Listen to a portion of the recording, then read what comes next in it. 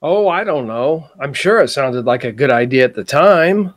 Well, it looks like over 300 electoral votes, the popular vote, taking the Senate and keeping the House. And gosh, who could have predicted that calling half the country, sorry, over half the country a bunch of bigoted misogynists if they didn't vote for your candidate wasn't a good campaign strategy? That's not, who could have predicted that? Subscribe to the channel, comment on these videos, like them, share them, and give them a thumbs up.